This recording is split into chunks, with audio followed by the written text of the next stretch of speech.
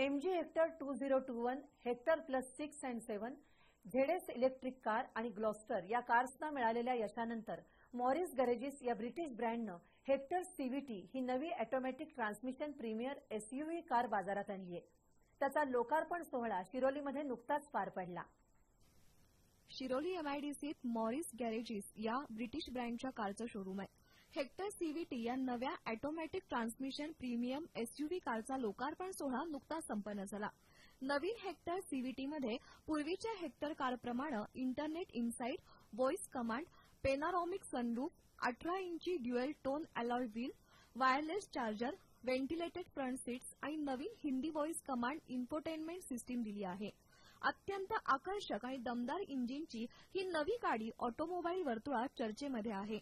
नवीन Hector CVT ही car पाच आणि सहा सीटरमध्ये उपलब्ध आहे. सीव्हीटी ट्रान्समिशनमुळे ग्राहकांना स्मूथ ड्रायव्हिंगचा आनंद मिळतो.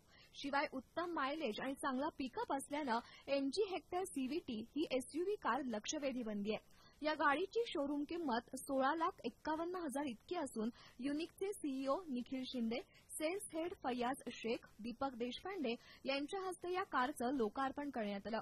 यावेळी अभिजित सणगर राजेश विंचू प्राची लाडगे यांच्यासह ग्राहक उपस्थित होते.